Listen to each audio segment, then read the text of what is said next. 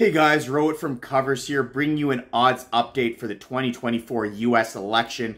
Former President Trump is still the frontrunner, sitting at about plus 250. While Trump has yet to officially announce if he'll be running or not, he's been indicating it for years, and he recently told New York Magazine that he has already made up his mind, and that it's just a matter of when he will make his decision public, either before or after the midterms. Sitting second on the odds board is Florida Governor Ron DeSantis, who has moved all the way from plus 6,600 at the beginning of the year to plus 300 right now. We've seen a big drop off for both President Joe Biden as well as VP Kamala Harris.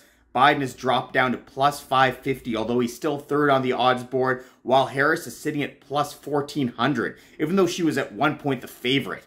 That's a big drop off for those two, and there's a few reasons for that.